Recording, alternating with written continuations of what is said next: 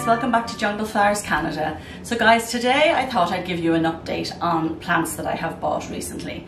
Now I'm going to include in this some of the ones that I got from Thailand, uh, but I actually picked up a gorgeous plant yesterday and that got me excited so I wanted to share that with you. I did say I was going to put up a leca video and I am going to do that. I'm just waiting for one of my Thailand plants to get a little bit stronger before I do that. So guys, I'm not a huge fan of the spathiphyllum or the peace lily. Uh, I know there are people who absolutely love it, but for me, it's never been one that really appealed to me until yesterday. I went to Valley View Nurseries in Markham and I'm walking around and I see this plant. I'm like, oh my God, what is this? And it turns out it's a spathiphyllum, but it's the variegated leaf. So let me show you it. This is the spathiphyllum variegated. Now there's probably another name for it. Unfortunately, they didn't have any labels on it at all. Um, and normally Valley View are great, they'll have a sign up, but they didn't have a sign up over this. But I'm going to come in closer and give you a close-up view. This leaf is just beautiful. Now we all know Grania gets very excited over leaves, but I was beside myself with this one. I just love it. Look at how unusual it is. And you can see there, there's the flower coming up and there's two little flowers coming up actually. But it doesn't feel real. Like it's just got such an unusual texture to it. So of course I had to have it. I was so excited about it. And the beauty about spathiphyllum is they can be put in a lower light area. They don't require as much light as like our Hoyas or many of our other plants. Now, of course, they do require some light. All plants require some light, guys, no matter how hardy they are. So this is an ideal plant. It's actually ideal for me because my windows are weird. Okay, I have, um, it's an east facing window at the front and my Hoyas love that because it gets sun in the morning. And I have, uh, well, it's probably northeasterly and I'm southwesterly at the back. So in the afternoon I get full sun. But at this side of my house, it's south facing. But it doesn't actually do as well as you would think it would do because I have a house right beside me, so it blocks a lot of the sun. But the plants do like it. Actually, my Hoyas, my three Hoyas in my kitchen window, love it. They're just at the end of the house, so they get just the right amount of sun. So I'm running out, basically, of window space, guys. so this is going to be ideal. I have it here in my family room. So I have a covered deck outside my family room patio door. So it does restrict the light coming in. In the summer, the light's okay. In the winter, it's very poor. So that's why in my family room I have all of these lights, if you've watched my video on how to use artificial lighting. But this one is, uh, like, definitely guys, it was 19.99. Can you believe that? I When I took it to the till, I nearly died. I'm like, oh my God, that is incredible. So there is my new, my newest plant. Actually, I bought two yesterday. I also bought mistletoe cactus because I have a lovely mistletoe cactus outside, but I did lose some of it. So every time I go there, if I see one, I pick it up. They're only tiny, three, three or four dollars, I think. And I always just add it in so that eventually I'll have a nice big mistletoe cactus again. But anyway, that's my spathiphyllum. Love it. Okay, next up, what did I buy? I went to Ikea Good old Ikea. Look at this ponytail palm. Guys, I also put it in this gorgeous pot. It's like a tin pot from Ikea. They don't, I don't think they price their pots. I don't know how much it was. Let me take it out to show you it fully. Look at it, how cute is that? It looks like me on a bad hair day. anyway, guess what? It was twelve ninety nine. Can you believe that? Look at the size of it. Twelve ninety nine listen to it ruffle. I love the way it ruffles. When you hit off it, it ruffles. But it just feels so lovely. It's, I don't know, it's gorgeous. So I was so delighted to get that. twelve ninety nine. What an amazing price. So that was another recent buy. Uh, actually, I'm going to save the best for last. So we also have, if you recall from my video from Thailand, I got these Birkin. This one's a bit yellow, but you know, I think it's because it's really dry. I, I forgot to water them, so I need to go in and water them now. So I got three of these. There were actually an error in my delivery. This is one of them. And you can see there's a new um, stem. I don't know, can I, can I show it to you there? There is a new stem coming up there with a new leaf. And two of them, one of them didn't do great. This one was the best one. And I put the two of them into one pot and they were doing great. But the smaller one that just had the shoot out of it, it kind of went a bit soggy. So I pulled off all the soggy part, but it looks like it still may survive underneath. So I also bought, I'll show you, I also bought a Birkin here in Canada. So I think these probably worked out to be like 25 to 30 dollars each so you know when you like i've said before when you include your shipping and your phytosanitary certificate you know they're probably not all that much cheaper and in some cases they're probably more expensive than here but the thing is you know you can get your hands on the plants over there however if you check my last video i didn't have a great experience and it has kind of I'm not saying I will never do it again, but it's very frustrating. But let me just grab the other Birkin to show you. Okay, so this is the Birkin that I got here in Canada, and this was $29.99. So let me show you the differences in them. Like this one that I got in Canada will eventually be like this, the one I got in Thailand. But you can see, oh my gosh, this is going to give me muscles. You can see um, there's more variegated leaves on the one I got in Thailand than there is here, the one I got here in Canada, but this will, it will, this will definitely get there. So I had said, oh, I'll probably sell the ones I bought in Canada. No, I didn't. I kept them all.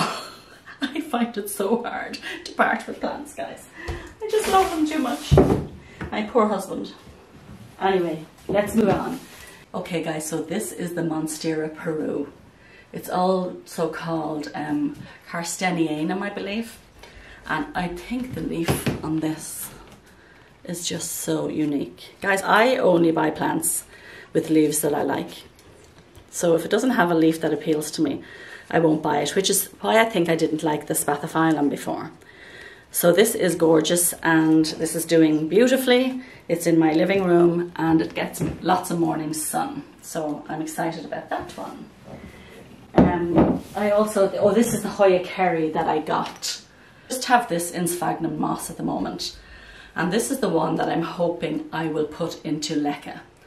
So it is cute, like it's a cute, it's, it's a Hoya Kerry splash. So it does have like a very nice leaf on it. Guys, I've had some successful orders from there. I'm not going to, to lie. I've and I've been very excited about plants I have received from there before. But just the last two have just been problematic for me and actually the this last one I just got was the worst. So I had got, I ordered eight plants, I got five and two were dead on arrival and now four are dead. I think this is the only one that survived of the five. Yes, it is. So this is the only one that survived of the five that I got. So it was in customs for 16 days and it just looked, took way too long and not in customs, it was in shipping for 16 days. So this is actually the only one that survived and I was also missing some plants. So, what else did I get? I love this one. This is, oh my gosh, I can't think. This is a Hoya Sunrise, Hoya Sunrise. And this has actually done well since I've got it. It definitely has grown. Has such a cute leaf. And when it gets a lot of sun, I have to move it actually to a sunnier area, it turns a beautiful like orangey yellow color. So I do need to give this a little more sun. And then we had our Callistophylla, which has done very well. So this is a Thailand plant. I'm very happy with this. This did awesome. And I took a cutting of it already because I wanted to make it a bigger plant. And the cutting rooted like super quick. And that's it there. And it's doing great. No issues with it at all. So if you were importing, this is one I definitely go for, guys. This, this transported so well. Look at the leaf gorgeous. Mm, gorgeous. They just make my heart skip a beat sometimes when I look at them. my husband's like, you're nuts. But they do make my heart. I do have two more plants to show you, but one I'm just showing you for information. So this is the most expensive purchase I have made recently. This is a Hoya Crimson Queen. Oops, well, I thought that was a leaf. And that's a nice long leaf. If I say this quietly, my husband mightn't hear. Of course, he's going to watch the video. This was $79. I can't believe I paid $79 for it. But I just thought, look at that. It would take me years and years and years to grow my little one, which I have up there, to this size. So I was there and I thought, you know what? I'm going to treat myself. As all us plant people probably say to our spouses, we could be doing worse things than buying plants. I bet you've all used that one, right? so there we have my gorgeous Hoya Crimson Princess. And I, I, have I actually have left it in the pot and I just have it in this macrame hanger in my kitchen window. Oh, now it's come out. And it's actually loving life there. So guys, the last plant I wanted to talk about. I bought this plant from Asian Plant Exports. I'm going to show it to you. Um, I'm going to say a year ago. I'm going to say a year ago. Actually, that the one I just got in the recent de delivery is is this little stalk here. It lost all its leaves. This stalk here, and but I said, you know, I'm just going to stick it in here and just see. Maybe it might come back. The roots looked okay. I mean, they weren't amazing. They were tiny, absolutely tiny. But I stuck it in anyway. But this is the one that I got last year and it was doing terribly. I was thinking this is just never going to come back. The, the leaves were really puckered and they're supposed to be like nice and solid like a typical Hoya. But when I was at Ikea, I bought a little glass dome and I was like, I bought it not knowing what I was going to do with it. And this happened to be the best plant. This happened to be the plant that fit over it best and I put this over it. I think it was like 5.99. So I put it over it and I put it on my sideboard in my dining room. And lo and behold, it bounced back. This is the healthiest it has looked since I got it. It does create humidity during the day. You can see the condensation on the inside and it was just what this plant needed. I am so happy. So this, when I bought this one, I'm sure it was called Lacunosa Eskimo leaves or something like that. It's a it's um, the curtsy plant. I believe it's part of the curtsy family. But when I got this one, it was called Lacunosa Silver Leaves. So I'm not actually 100% sure if these are exactly the same, but um, they, they certainly look very similar.